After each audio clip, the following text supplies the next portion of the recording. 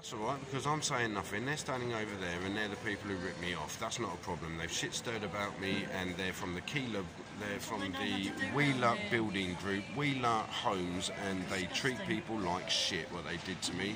I did loads of work for them. He's been complaining of dying of cancer for the past uh, amount of years. Five and a half grand he owes me. Cheeky bastards.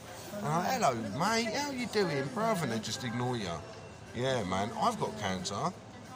They take the piss. They also got done for some sort of treasury shit. I'm fucking sick and tired of taking the piss out of me. Now, they were also part of the lying little cunts. Now, when I was um, offered um, or given half a 750 grand house, which I don't ever want, don't want any part of, they were lying little fuckers. You know, mates crime is a criminal offence. There's mate crime and hate crime. The difference between that is nothing. Only one pretends to be your friend and stabs you in the back. And that's what cunts like that do. Mother's minge. So there's me helping this dude out. Sophie was there as well. We were meant to be getting a really nice pay, pay, blah blah. blah. I was finding work to support her, me and Regan, and um, they just absolutely no. Of course they do. They take people's money and disappear.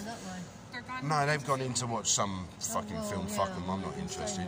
Yeah, they can stay there, mate. Their karma's coming. That's the thing. I don't need to run up and shout and scream about money that they owe me. Their, their shit's coming to them. So yeah, Sophie, when she had fucking um, nits in her hair so bad, I, we had to shave her hair. Seriously, you asked Levi. I shit you not. Ask Levi. I did it. Yeah, I did everything, man. The amount of like shit that we would have to use on her hair, man. Swear down. The lice were so bad they were coming through her fucking beanies, man. Yeah, people are. he shaved her hair off because like she does drugs. No, she only smoked weed. Well, I heard that like there was other things, but um, no, she didn't ever in front of me do drugs because I don't like drugs, and she only smoked a bit of weed. Might want to get off this completely. Yeah, I think so. Yeah. Sorry. It's not. Sorry, no, no, my bad, It's a, hair, it's a hairdresser's worst nightmare. But yeah, people are t- who take the piss out of me, and like, there's no, I don't believe in coincidences. There's no coincidences, so I know the people who've cloned my phone telling people where I am. You've got a You're selfie. idiots. You've got a selfie screen on. Yeah. Yeah,